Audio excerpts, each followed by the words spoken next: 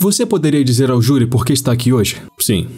Uh, há uns seis anos atrás, a senhorita Hurd fez uh, algo bem hediondo e também uh, perturbador. Ela trouxe esses perturbadores criminosos atos contra mim e isso isso não foi baseado em, em nenhuma espécie de verdade. Isso foi, foi um completo choque que tudo isso teve, teve que ir seguindo nessa, nessa direção. E nada disso, nada desse tipo, na verdade, aconteceu. Porém, a, a, a relação teve argumentos e coisas dessa natureza. Mas eu nunca cheguei, uh, cheguei perto de uh, bater na senhorita Hurt de jeito nenhum e nunca sequer bati uh, em, em mulher alguma uh, na minha vida. Por que você está aqui? Eu tô aqui porque o meu ex-marido tá me processando pelo que eu escrevi. E como você se sente em relação a isso? Eu. Uh, eu tô lutando para achar as palavras. Eu estou lutando para achar as palavras para descrever o quão doloroso foi isso. Isso é horrível. Para mim, sentar aqui por semanas e ter que reviver tudo isso. E ouvir pessoas que eu conhecia, um, ah, alguns bem, outros não meu ex-marido, com quem eu dividi uma vida. Falando sobre as nossas vidas da maneira como foi feito. E isso foi uma das. Isso foi a coisa mais dolorosa e difícil que eu já tive que passar, sem dúvidas. Agora, uh, teve um julgamento no Reino Unido em julho de 2020 onde o Sr. Depp processou o jornal The Sun e Dan Wootton. Você se lembra disso? É, sim, é, eu. E qual foi o nível da sua participação nessa ação judicial, desse julgamento? Bom, eu não, não participei dessa sessão. Eu era uh, uma testemunha. É, eu, eu, eu suponho que uma testemunha primária, uma vez que tratou da verdade do relacionamento é, que eu dividia com o Johnny. E qual tipo de papel você teve que fazer, com todo respeito? Por exemplo, declarações de testemunha, testemunhar? Objeção! Uh, eu disse, por exemplo, objeção anulada. Eu tive que escrever, eu acho que eu dei sete depoimentos de testemunha, é, sob juramento de testemunho. Eu sentei no stand, é, por uns quatro dias, sob a maior parte do interrogatório. E a essa altura, isso foi a coisa mais difícil que eu já tive que fazer. Enquanto me aproximo da porta, do nada. Eu estou sendo espancado por trás por ela. Então eu tentei. Uh, tentei fazer esse movimento para proteger o meu rosto enquanto ela.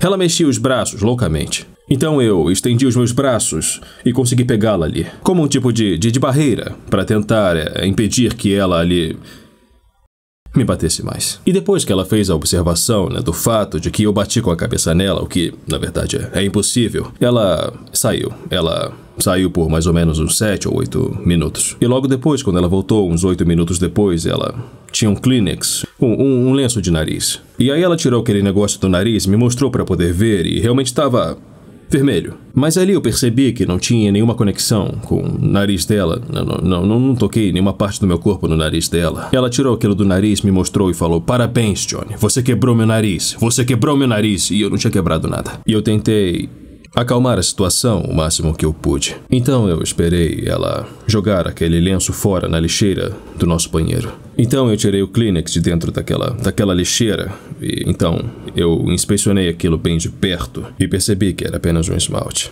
Você se lembra da primeira vez em que ele te agrediu fisicamente? Sim. Por favor, diga ao júri sobre isso.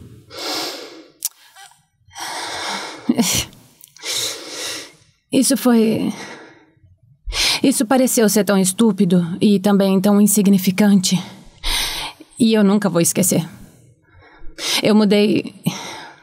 Isso mudou a minha vida. Eu tava sentada no sofá e a gente tava conversando, tava tendo uma conversa normal, sabe? Só sem briga, sem discussão, nada.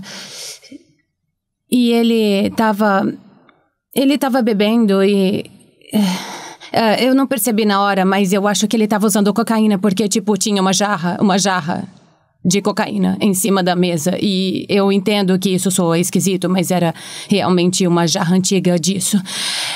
Mas eu não vi ele usando nessa hora, então eu não considerei isso ali, entende? Ele tava bebendo e a gente tava conversando e a música tava tocando e ele fumando uns cigarros e a gente tava sentado perto um do outro no sofá. E eu perguntei sobre a tatuagem que ele tem no braço. E, e para mim só pareciam umas umas marcas pretas, tipo, eu não sabia, eu não sabia o que significava. Era só uma tatuagem bem velha e desbotada, difícil de ler. E eu disse isso, isso o que que significa? E ele falou que era wino. Disse wino. E eu, é, eu não entendi, eu achei que era piada. Porque não parecia nem um pouco com isso, então eu ri. Simples assim. Eu ri porque eu achei que ele estava brincando. E ele me deu um tapa no rosto. E eu ri. Eu ri porque eu eu não sabia mais o que fazer. Eu pensei, só pode ser brincadeira. E ele disse: "Você acha engraçado? Acha engraçado, vadia? Se acha engraçada, vadia?" E ele me bateu de novo. Tipo, ficou claro que não era mais uma piada. Mas eu não sabia mais o que dizer ou fazer, eu só encarei ele. Eu não falei nada, eu não reagi, eu não me mexi ou surtei ou me defendi dele ou disse: O que você tá fazendo? Você é doido. Eu só encarei ele porque eu não fazia ideia do que fazer. E ele me bateu mais uma vez. Forte. E eu me desequilibrei. De repente, eu percebi que o que tinha acontecido comigo era a pior coisa que podia acontecer. Eu percebi e eu. Eu queria tanto que ele me dissesse que estava brincando. Porque isso não doeria. Não me machucaria fisicamente. Eu estava sentada lá, naquele. sentada naquele tapete, olhando para aquele tapete imundo e pensando como eu fui parar nesse tapete e por que. Porque eu nunca reparei antes como esse tapete é tão imundo. Eu só Sentei ali pensando em quanto tempo eu tinha para descobrir o que eu tinha que fazer. Porque, droga, ele me bateu. Não, eu não queria largar ele. Eu não queria estar nessa realidade. Eu não queria ter o homem por quem eu me apaixonei. Eu sei que não dá para voltar disso, sabe? Eu não sou burra. Eu sei que você não pode agredir uma mulher, não pode agredir um homem, não pode agredir ninguém. Eu tô, eu tô, eu tô te dizendo, se, se, se você perdeu a memória da noite passada, de ter me chutado para fora da porta enquanto me batia pra cacete. De novo, desculpa. E, e, e você perdeu a memória de, de ter me chutado da, da, da, da, da porta do, do banheiro e ter me acertado bem de no novo, crânio. Me desculpa. Espera! se você tiver essas uh, memórias, é, é, sei lá, lapsos. Eu tava chateada, tinha muita coisa não, acontecendo tá e eu tava Pera no aí, ambiente. uh, tipo, por que você tá tão obcecado espera. com o fato de que eu não consigo me lembrar das coisas que você lembra? Eu já pedi desculpas, eu okay, não neguei eu não nada. tô falando disso, eu tô falando sobre outra coisa. Eu disse pro Travis, eu disse. Hum. não, não, não, eu disse para você. Ok. Oi, diga Ok. pro Travis o que aconteceu. Tá. Você me disse pra fazer isso? Foi, você falou, vai fazer isso. Eu não, eu disse, diga pra ele o que você disse. Então, eu menti. E aí você foi e me deu um Você soco lembra? na merda da minha cara. Você resolveu tudo. E aí você foi lá e disse: Não, não consertei. Que merda que você tá falando? Então eu, te assisti. Eu não te soquei, na Não, real. eu- Olha, me desculpa se eu é, Não, olha, consegui acertar em cheio o seu rosto, mas eu tava te atingindo, eu não tava te socando. Amor, você não levou um soco. Não me diga qual a sensação de levar um soco. Sabe, tem rolado várias brigas por aqui há um bom tempo, eu não sei. Não, É. você não vai se livrar desse assunto. Você não levou um soco. Você foi atingido. Desculpa se eu atingi você assim, mas eu não te soquei. Eu não derrubei você. Eu só tava te acertando, merda. Você e eu não sei muito. quais eram os movimentos que as minhas mãos estavam fazendo naquela hora, mas você tá bem. Eu não te machuquei, eu não te soquei, eu só atingi você. Como você pode? Como? O que, que eu devia fazer? Isso? Como pode? E não sou eu que tô aqui reclamando disso, você que tá. Essa Olha, é a diferença você- entre eu e você. Você é a merda de um bebê. Porque você começou uma Você é tão guerra. infantil! Cresce logo, Johnny! Você não começou com as agressões físicas? Eu comecei as agressões físicas. Sim, você começou. Porque- Então eu tive que pular É, fora de você lá. foi. Você fez a coisa certa. Ótima decisão, sabe? Você é admirável.